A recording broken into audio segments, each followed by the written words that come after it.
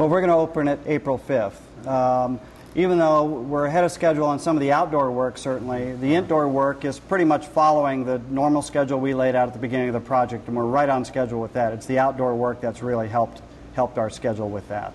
So um, that, I would say, is uh, m- maybe a, a month ahead of schedule, the outdoor work, because we've been able to work th- straight through.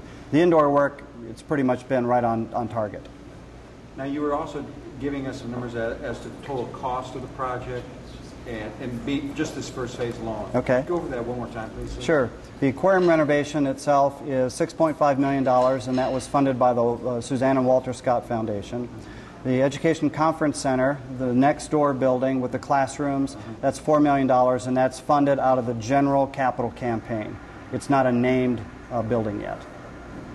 Could you talk about uh, just shutting down the aquarium and what that's been like for the zoo, and uh, do you think it'll be worth it for the people of Omaha, and they'll come back and they'll have this? What what will they be seeing? Yeah, you know, I, I, since I work here, I pass a lot of people who are coming to see the zoo, and the attendance has been great, as you might expect in January. We're way ahead of our attendance projections.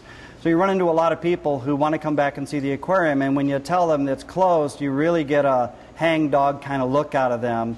Um, and all you can do is promises it's going to be great when it opens in, in April. So they're disappointed. This is a really popular exhibit at the zoo. No question about it. Probably the most popular exhibit.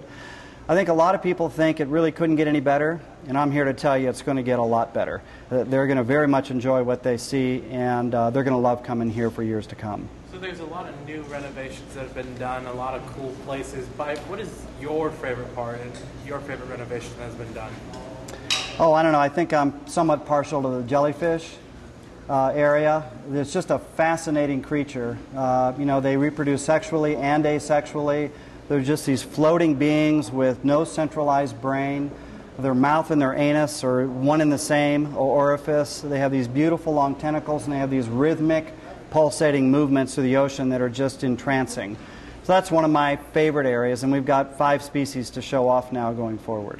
Could you once again characterize what the new experience will be like for the uh, for the new zoo for the zoo goer? I think when you walk through the aquarium, you're going to feel like there's uh, more emphasis on the exhibits and the fish themselves because a lot of the other areas are going to be a little bit darker. There's certainly a lot more emphasis on learning opportunities, and so they're going to get a lot more information about the fish that live there and a lot more in depth about life cycles, things like that. And I think the third part of all this is we're doing more for little kids. Uh, that digital infrared area, the ocean floor that we're going to project uh, in the kids' coral play area, I think are going to be a lot of fun for kids. Um, but all in, all in all, I think it's going to be a much more immersive, maybe a little bit even more hushed kind of experience, uh, sort of out of reverence for the fish that live here.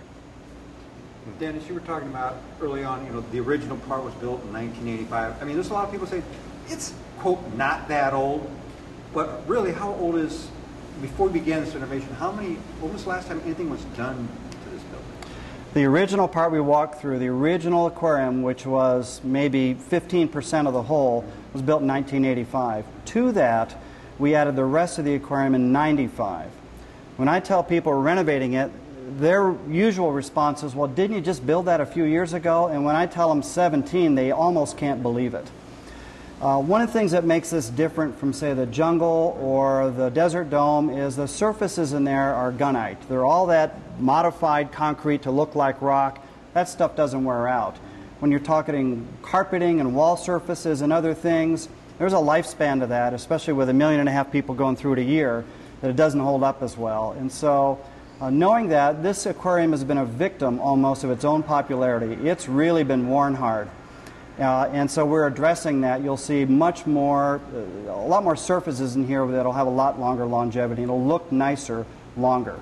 So we've benefited uh, from uh, watching the people use this and then applying what we've learned to make it better. Anything else, Jen? Can you get the, num- yeah, the number for the, the price? How much was done? The, the aquarium renovation was six and a half million. Uh, the Education Conference Center was four million. So together, it's a 10.5 million. And that money came from, The six and a half came from the Suzanne and Walter Scott Foundation.